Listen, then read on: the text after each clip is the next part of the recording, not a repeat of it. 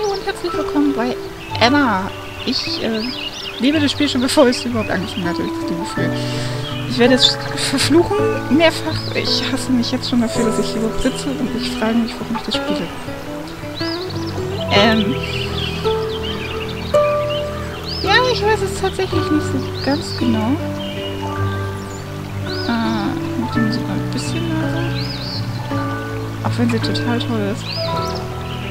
Aber ich würde sagen, wir fangen einfach mal an. Ich gucke, wie ich mich da durchquäle. Ich bin nämlich absolut kein Horrorspielmensch. Absolut nicht. Das soll so ein bisschen gruselig sein. Gehört.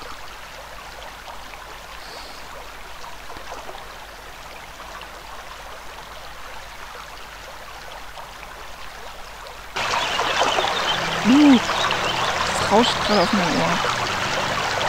Ich entsinne mich noch einmal der Verzückung.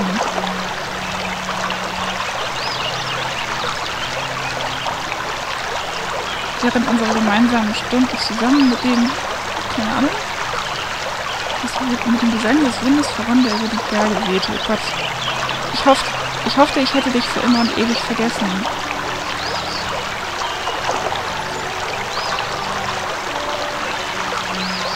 Anna, meine große Liebe.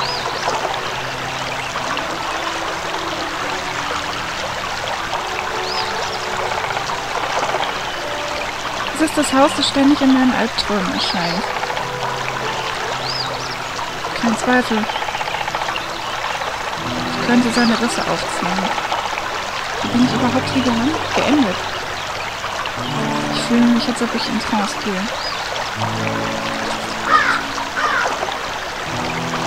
Aber ich bin mittlerweile außerhalb der Tore. Ich muss herausfinden, warum ich ständig von ihr träume. Aber... Ah, das Wasser ist total klar. Aber oh Gott, warum ist meine Maus so fucking... Man möchte es fast trinken. Nee, ich muss mal eben... Ich muss mal eben gucken. Optionen.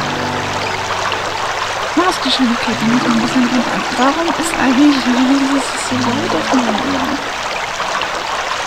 Das Rauschen.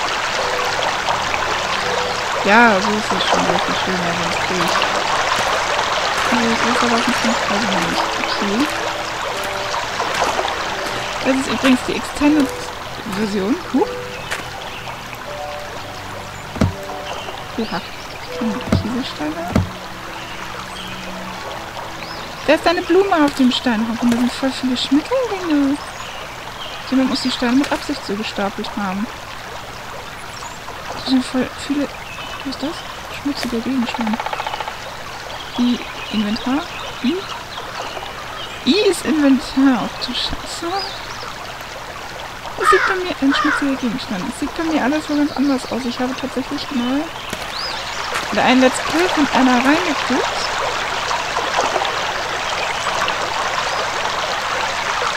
Ich habe es mit Wasser gereinigt. Was ist es denn jetzt? Das ist ein Stück von einem Zahnrad. Ich habe mir tatsächlich mal ein... Oh Gott, ist das schon so, idyllisch hier. Ist sehr schön. Ich mag es hier. Ach, und das muss ich nicht mitnehmen. Ich nehme eins. Warum auch immer. Diese ganzen Schmetterlinge hier. Die wirken so unecht. Ich meine, ich finde sie sehr schön, keine Frage, aber sie wirken wie Geister. Sollte uns das zu denken geben? Ich weiß es nicht. Ich habe tatsächlich mal ein Let's Play dazu geguckt, zumindest den Anfang. Vereinzelte Steine auf dem Boden. Allerdings war das nicht die Extended-Version und ich habe irgendwie gerade das Gefühl, ich habe ein komplett anderes Buch Spiel gelegen. Meine Maus ist immer noch übertrieben empfindlich. Das muss ich nochmal eben. Es tut mir leid. Ich hätte das vorher alles äh, einstellen sollen. Also es gibt Spiele, da rege ich mich drüber auf, dass die Maus total lahmarschig ist und die ist hier extrem überempfindlich. Da kriege ich ja, da gibt mir übel von.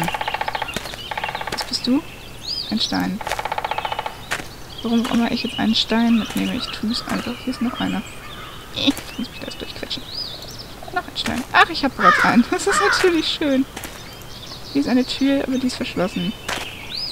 Vielleicht kann ich sie von innen öffnen. Okay, das gibt uns ja zumindest schon mal den Hinweis, wir müssen gar nicht lange von außen versuchen, irgendwie da drüber da reinzukommen. Kleine Tür. Kleine Tür, die nicht wirklich aufgeht. Sie verschließt einen kleinen Raum unter dem Treppenhaus. Okay, äh... I. Kann ich da... Zahn... Kann ich zufällig mit dem Stein irgendwie... Nein. Was ist das? Ich weiß nicht, was das ist. Das macht mir Angst. Ein Ahornblatt wird mir wohl nicht viel bringen. Nein, das wird mir alles nicht viel bringen. Okay. Nimm diesen Stein weg. Wie auch immer wir sind, legt diesen Stein weg. Haupttür. Es rührt sich nicht. Augenförmige Aushöhle. Ah! Eine perfekte Schnitzerei. Ein einfaches Werk, aber trotzdem sehr künstlerisch gemacht. Warum muss man da... Da ist etwas im Inneren. Das sieht sowieso alles sehr... sehr merkwürdig aus. Ist... Kann ich da mit dem Stein rumfahren? Vielleicht hilft's ja, ich weiß es nicht.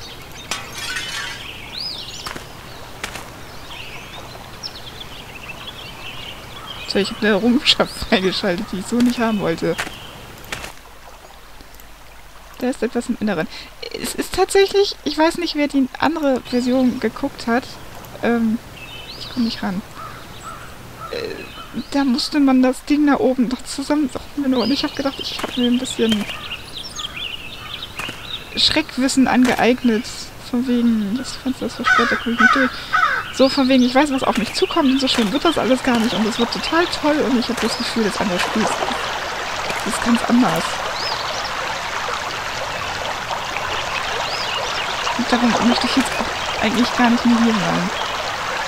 Kann ich bitte nach Hause gehen? Oh Gott. Warum mache ich das? Scheint kaputt zu sein. Verschlossen. Vielleicht lässt sie sich von innen öffnen. Okay, wir müssen also die Tür da rein. Warum, warum tue ich das? Warum bin ich hier? Ich möchte... Kann mir immer noch dem flachen Kieselstein rumhampeln. Kann ich, kann ich gehen? Ich... Gott. Und ist im Bach irgendwas. Nein, der Bach ist nur der Bach. So viel dazu, dass ich mir so ein bisschen... Oh, noch einen Steinhaufen dass ich mir so ein bisschen, ach, ich bin so nicht mehr so leicht zu erschrecken, Wissen angeeignet habe. Vergiss es. Ich hatte doch... Ist der Stein auch weg? Ein Jagdmesser kann ich... Ach, da war ein Seil dran. Ich nehme es mit. Okay.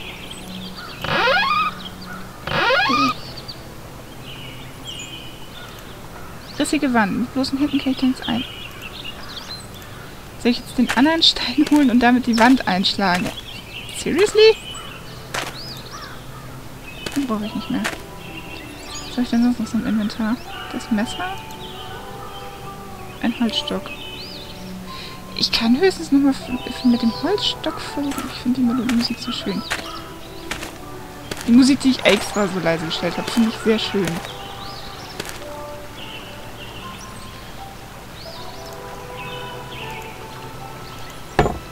Haha geht doch. Ich hab's.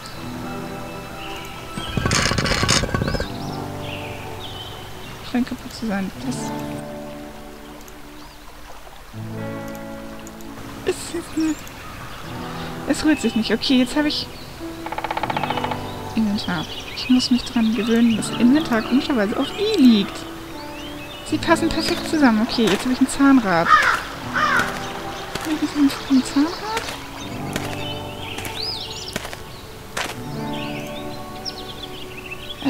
mit bloßen Händen kann ich dann nichts ausrichten. Nee, sehe ich ja irgendwie sogar ein.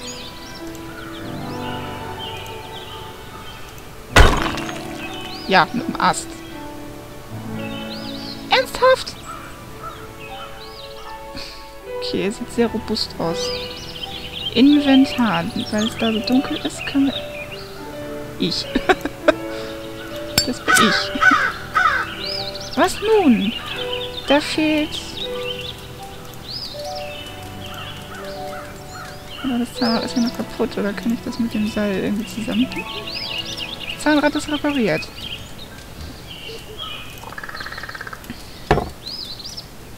Jetzt sollte es funktionieren. Warum ist das alles so anders? Ich will das alles nicht. Ich bin mir auch noch nicht sicher, ob ich da reingehen möchte. Ich tue es einfach. It's dark here. Ja, das ist es wohl. Mami? Mutti, ich möchte gehen. Alle Kerzen und die Lampen wurden angezündet. Lebt hier noch jemand? Das weiß ich nicht. Altes Taschentuch. Es ist in einem sehr schlechten Zustand. Ich fürchte, es könnte in meinen Händen zerfallen. Sieht eher aus wie eine Notiz, nicht unbedingt wie ein Taschentuch, aber gut. Die Grafik ist ja schon wahnsinnig gut. Mir noch immer nicht sicher. Zerbrochene Tisch. Tisch ist in einem sehr schlechten Zustand. Zum Glück muss ich nicht zum Essen bleiben. Nee. Besser ist es wohl. Scharfes Teil sieht aus wie die Klinge eines Messers. Sie steckt am Tisch fest. Wenn ich sie an mich nehmen will, muss ich mit etwas dagegen schlagen. Nimm weg.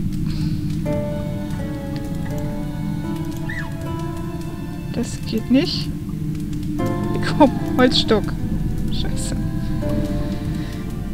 Was ist das für ein... Was ist das für ein Balken hier? Ich will, ich will, den, ich will den nicht haben. Der macht... Da kriege ich Angst, dass ich irgendwie... Weiß ich auch nicht.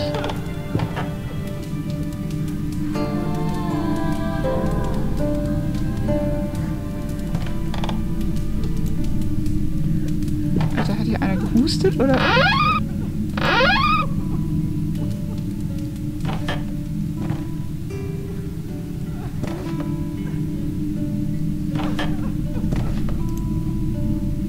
Einige Wurzeln.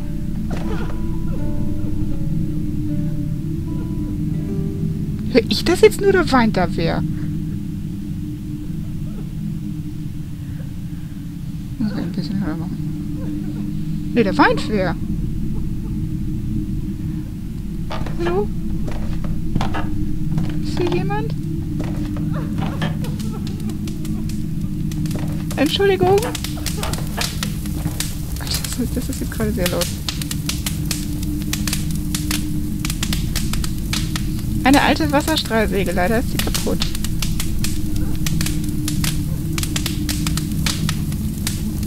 Hallo?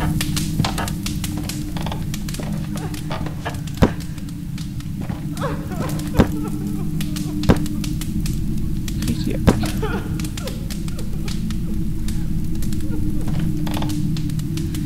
Es ist abgeschlossen, ich brauche einen Schlüssel dafür. Ich weiß überhaupt nicht, ob ich...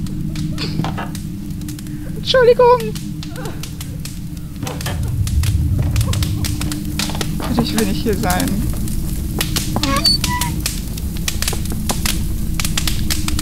Also das ist tatsächlich ein brennender Ofen.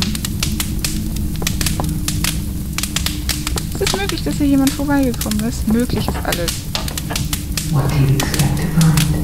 Was? Was ich erwarte zu finden, ich... Keine Ahnung. Anna? Hast du jetzt, hast du jetzt aufgehört zu weinen? Oh Gott. Wenn die Vorstellung, dass hier irgendwo einer ist.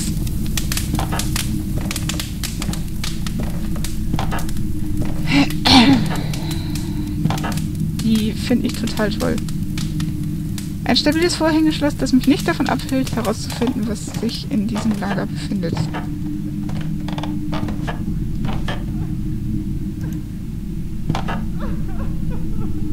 Oh, jetzt hör doch endlich diese eine Kette, die mit einem Mechanismus verbunden ist. Jetzt hör doch endlich auf zu weinen. Eine Pfütze mit stehendem Wasser. Wahrscheinlich hat sie sich nach einem Wolkenbruch gebildet. Jetzt hör auf ich mag doch nicht. What do you feel? Was ich fürchte. Was ich fürchte, dich gerade.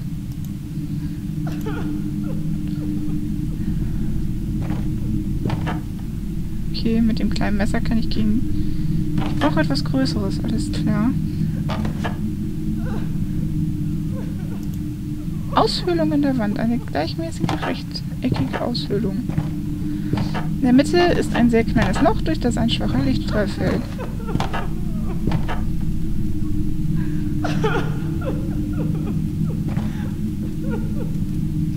Weinst du jetzt die ganze Zeit?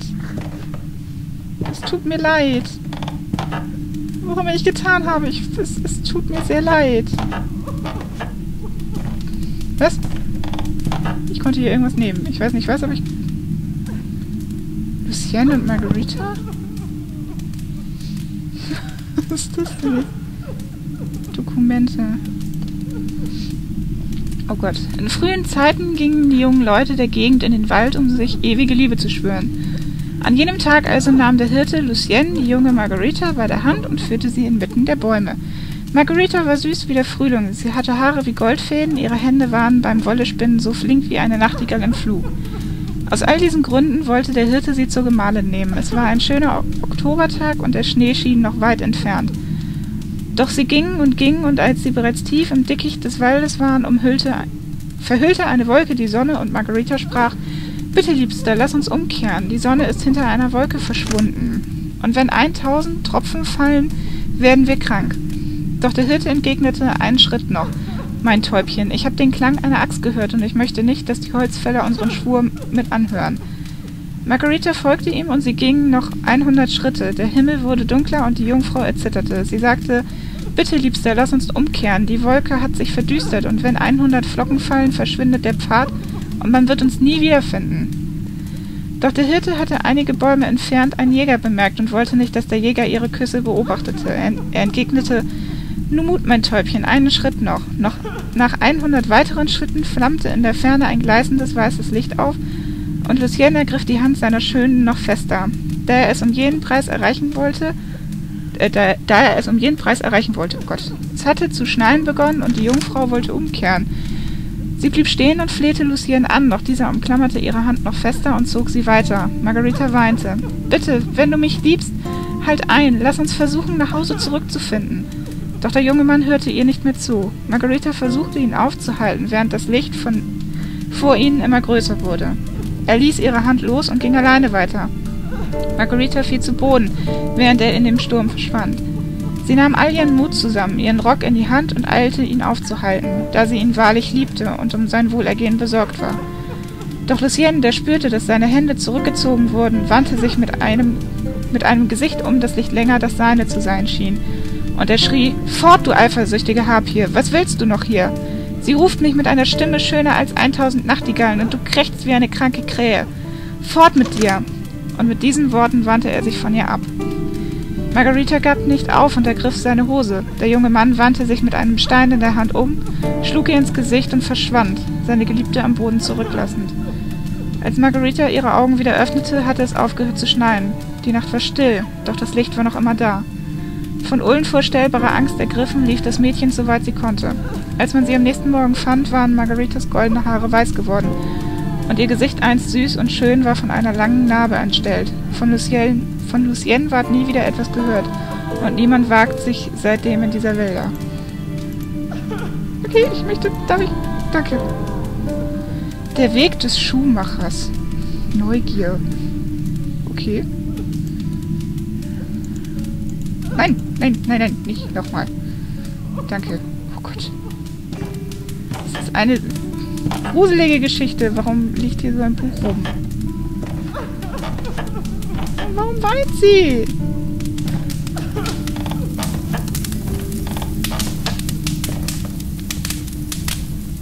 Leider ist sie kaputt. Was mache ich denn hier mit diesem Ofen? Ein alter Ofen, er brennt. Okay, ich kann ihn aufmachen. Halt!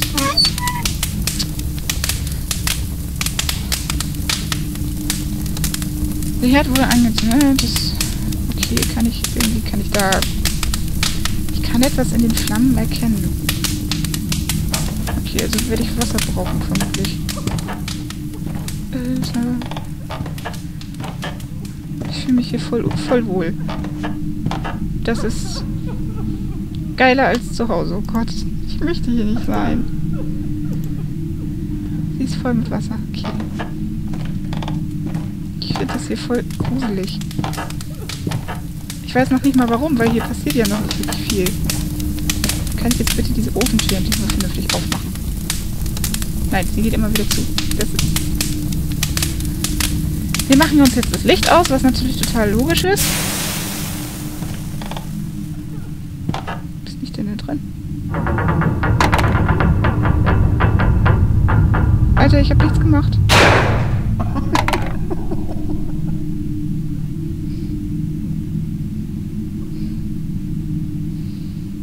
Mami, ich will jetzt schon nicht mehr.